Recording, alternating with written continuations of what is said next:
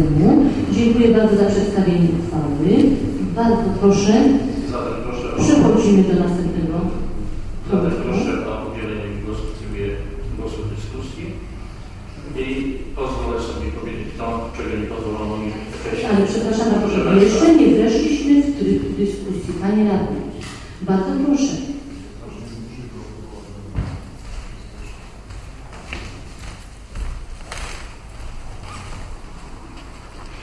Jeszcze raz dziękuję inicjatorom o przedstawienie projektu uchwały i chciałam zapytać, czy ktoś z radnych chciałby zabrać głos w tej sprawie? Proszę bardzo, Pan Przewodniczący Jerzyna.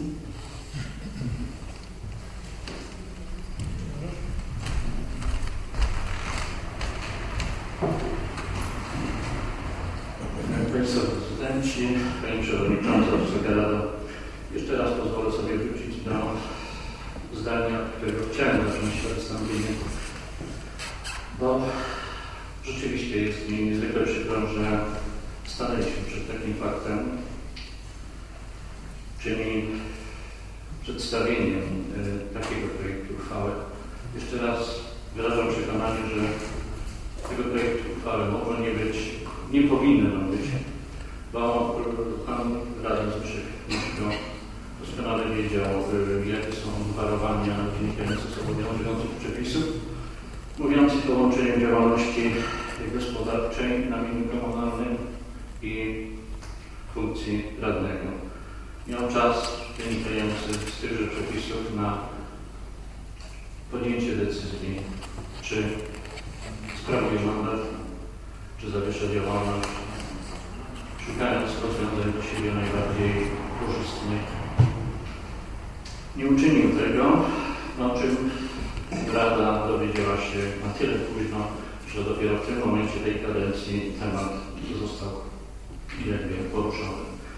Pozwolę sobie też wrócić e, pamięcią do momentu, kiedy w 1995 roku pełniłem funkcję, a może inaczej, pracowałem w jednej z komisji Rady Miejskiej jako- członek spoza Rady. Była taka wówczas możliwość, tak, tak, tak regulowały te przepisy. Nie było żadnych przepisów, które mówiły o ograniczeniach z tego tytułu, o, którym, o których mówimy dzisiaj. W tym właśnie roku zostałem powołany na stanowisko dyrektora Domu Kultury jednostki miejskiej i pełnienie funkcji w Radzie czy w komisji jako członek spoza Rady i równocześnie pełnienie obowiązków dyrektora jednostki samorządowej myśl przepisów nie wykluczało się. Natomiast uznałem wówczas, że byłoby to nie na miejscu łączenie tych funkcji. Podjąłem zatem decyzję o rezygnacji z pracy w komisji. Dziękuję. Dziękuję bardzo Panu Przewodniczącemu. Czy ktoś z Państwa radnych chciałby zabrać głos w dyskusji? Proszę bardzo, Pan Radny Henryk Kurek.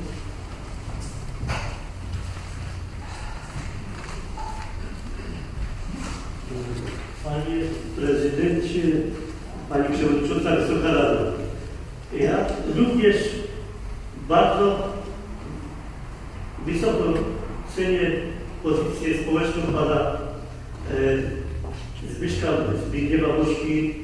E, znaczy uważam, że jest jeden z najlepszych biznesmenów Kropaszowskich, w czołówce na pewno jest. I dlatego strasznie się dziwię, bo myślę, że e, mamy prawników w tym mieście. Przecież można było powiedzieć panu radnemu. Ja może powiem w ten sposób jeszcze, że w swoim czasie, pewno niektórzy wiedzą, też popełniłem, tak powiem, e, w cudzysłowie przestępstwo, bo wziąłem pieniądze, które prawa mi się nie należały i niestety, ale musiałem te 25 tysięcy zapłacić. No i to jest przykre, że też mnie wtedy y, prawnicy y, nie poinformowali, że nie mogę pełnić funkcji radnego i, i równocześnie brać świadczenia przedemerytalne. Fakt, że to potem Sejm y, Rzeczpospolitej zmienił, ale ten okres, który brałem, no nieświadomie, no nikt żaden mi nie powiedział. Ja myślę, że tu coś takiego też zaiskrzyło. Oby, oby się nie mylił. Dziękuję za uwagę. Dziękuję bardzo Panu Radnemu. Czy ktoś z Państwa chciałby? Proszę bardzo, Pan Radny Rafał Łataś.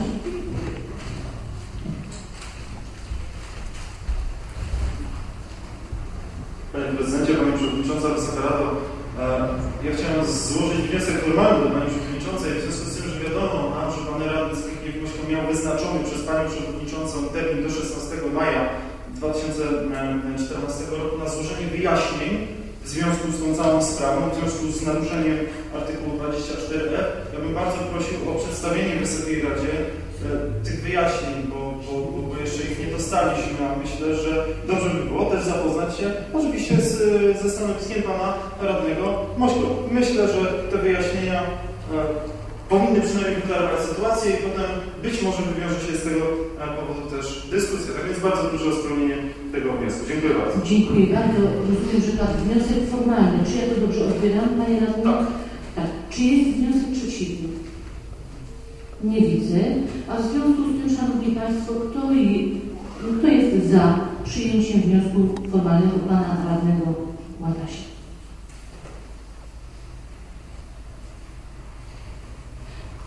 Proszę jeszcze o chwilę cierpliwości, bo policzymy głosy.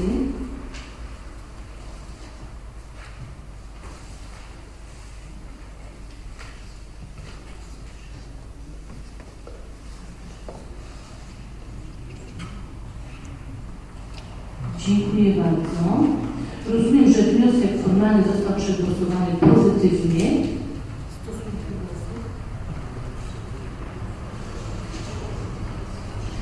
Dobrze, przepraszam bardzo. Kto jest przeciw temu wnioskowi? Nie widzę. Kto wstrzymał się od głosu? Dziękuję bardzo. Rozumiem, że wniosek formalny, który zgłosił Pan Radny Rafał Łataj został przyjęty przy pomocy 21 głosów za, bez głosów, 22 głosów za, przy jednym głosie wstrzymującym się i bez głosów przeciwnych. Jeden głos został oddany. Czyli jedna. No powiem szczerze, mieliśmy wątpliwości, bo nie było dobrze widać reakcji Pana Mośko. A w związku z tym, Szanowni Państwo, rozumiem, że reasumpcja powinna nastąpić, tak? Nie, no w takim razie jeszcze, jeszcze raz ogłoszę wynik. Głosowanie zakończyło się wynikiem następującym. 21 głosów za przyjęciem wniosku formalnego i jeden głos wstrzymujący się. Czyli wniosek formalny przeszedł. Dziękuję bardzo.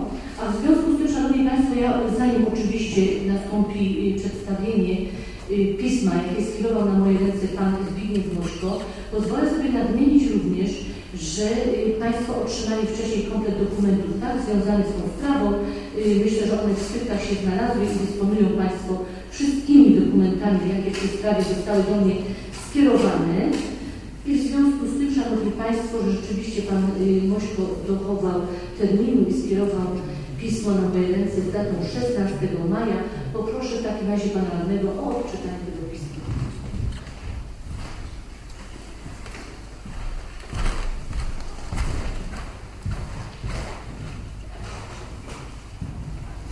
Pani Przewodnicząca, Rado, Szanowni Mieszkańcy. Pismo skierowałem na 16 maja 2014 roku na ręce Szanownej Pani Przewodniczącej Rady Miejskiej Świętowicach Urzędu Wojciechowskiej w związku z pismem z dnia 9 maja 2014 roku Kancelarii Rady Miejskiej o numerze 004.26.2014 informuję, iż w okresie od marca 2003 roku do sierpnia 2012 roku prowadziłem działalność gospodarczą wspólnie z panem Witodem Gąsiorem, tworząc spółkę cywilną pod nazwą Śląskie Sieci Internetowe SC. W sierpniu 2012 roku wyżej wymieniona spółka została przekształcona w spółkę z ograniczoną odpowiedzialnością oraz dwie śląskie sieci internetowe spółka z OO z siedzibą w Świętopowicach, w której byłem udziałowcem do dnia 14 maja bieżącego roku. Ponadto od maja 1990 roku prowadzę działalność gospodarczą na własny rachunek. W okresie prowadzenia działalności gospodarczej, jest działalności określonej w zdaniu pierwszym oraz w zdaniu trzecim, nie zarządzałem działalnością gospodarczą o której mowa w ustępie, e, w artykule 24f ustęp 1 ustawy o samorządzie gminnym. A więc działalność gospodarcza prowadzona na własny rachunek przez osoby fizyczne oraz przez takie osoby wspólnie z innymi osobami nie byłem również przedstawicielem ani pełnomocnikiem w prowadzeniu takiej działalności. Mając udział w wyżej wymienionej spółce ZO, posiadającej osobowość prawną, zasiadam od dnia powstania jej zarządzie, będąc jednocześnie wiceprezesem. Jednakże w mojej ocenie okoliczność ta ze względu na treść artykułu 4 ust. 1 ustawy o swobodzie działalności gospodarczej, która wskazuje, że przedsiębiorca jest w tym przypadku osobą prawną, spółka z ograniczoną odpowiedzialnością, a nie osoba fizyczna prowadząca, prowadząca działalność gospodarczą na własny rachunek, czy też wspólnicy spółki cywilnej, czyli prowadzący działalność wspólnie z innymi osobami, nie spełnia określonego wspomnianym wcześniej artykułem 24f ust. 1 ustawy samorządowej kryterium przedmiotowego ograniczenia prawa do prowadzenia działalności gospodarczej. Mówiąc inaczej, w chwili obecnej nie zarządzam działalnością, o której mowa w tym przepisie, a jedynie działalność gospodarcza osoby prawnej spółki z ograniczoną odpowiedzialnością, która istnieje, nie jest tożsame z prowadzeniem działalności na własny rachunek lub wspólnie z innymi osobami, a zarządzanie nią nie oznacza, nie oznacza zarządzania działalnością prowadzoną na własny rachunek lub wspólnie z innymi osobami, jak i bycia przedstawicielem lub pełnomocnikiem takiej działalności. Brzmienie wyżej wymienionego przepisu w zestawieniu ze wspomnianym artykułem 4 ust. 1 ustawy o swobodzie działalności gospodarczej nie, nie daje podstaw do przyjęcia, że określona w artykule 24f ust. 1 ustawy o samorządzie gminnym działalność gospodarcza odnosi się do działalności innej niż prowadzona indywidualnie na własny rachunek przez osoby fizyczne lub takie osoby jako wspólników spółki cywilnej. Co do rzekomego prowadzenia przeze mnie działalności gospodarczej z wykorzystaniem mienia komunalnego oświadczam, iż powołana na potwierdzenie tego umowa z dnia 15 stycznia 2004 roku zawarta między Miejskim Zarządem Budynków Mieszkalnych w Świętokowicach, a Śląskimi Sieciami Internetowymi SC. Nie przesądza o tym, że prowadzona od dnia 20 sierpnia 2014 roku przeze mnie wspólnie, przepraszam, 2004 roku, yy, przeze mnie wspólnie z panem Witoldem Głosiorem pod firmą Śląskie Sieci Internetowe SC, a następnie przez Śląskie Sieci Internetowe spółka ZOS siedzibą w Świętokowicach działalność gospodarcza stanowiła i stanowi działalność gospodarczą prowadzoną z wykorzystaniem mienia komunalnego. Moje stanowisko w tej sprawie wynika z następujących okoliczności. Z zapisów wyżej umowy nie wynika, że określone mienie w postaci wskazanych umową nieruchomości powierzone zostało spółce do korzystania a więc, zważywszy na cel prowadzenia działalności gospodarczej, działalności zarobkowej, zgodnie z definicją zawartą w ustawie o swobodzie działalności gospodarczej, do pobierania z niego pożytków. Miasto Świętokowice nie było też i nie jest odbiorcą świadczonych przez obie spółki usług, a usługi te nigdy nie były finansowane ze, środków budżetowych. Adresatami usług telekomunikacyjnych polegających na dostarczaniu sygnału internetowego byli są wyłącznie jego odbiorcy, a w okoliczności zamieszkiwania przez nich w lokalach stanowiących własność gminy, czy też w budynkach, których części wspólne mogą stanowić jej współwłasność.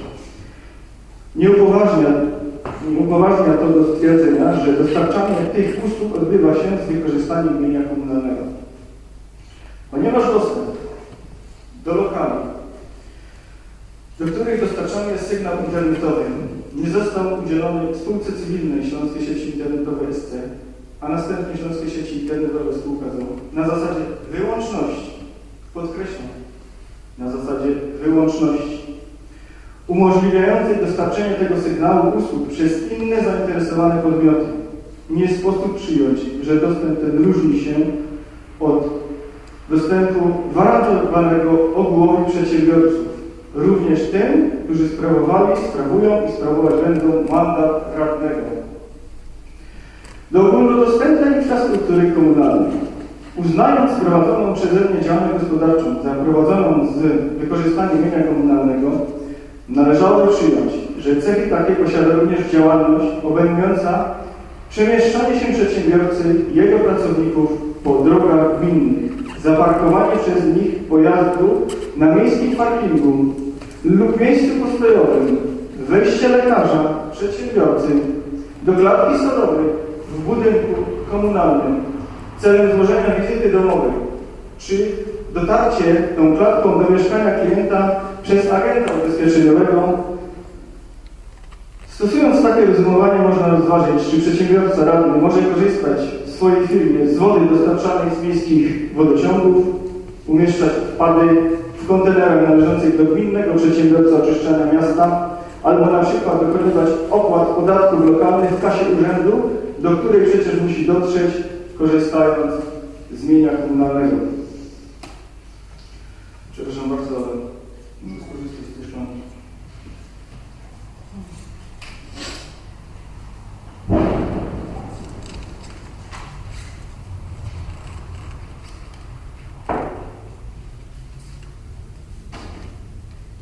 W uchwale Naczelnego Sądu Administracyjnego z 2 kwietnia 2007 roku sygnatura akt 2 rzymskie OPS 1 przez 7 stwierdza się, iż nie każde korzystanie z nieruchomości gminnych będzie wyczerpywało zakaz, o którym mowa w artykule 24f ust. 1 ustawy o samorządzie gminnym.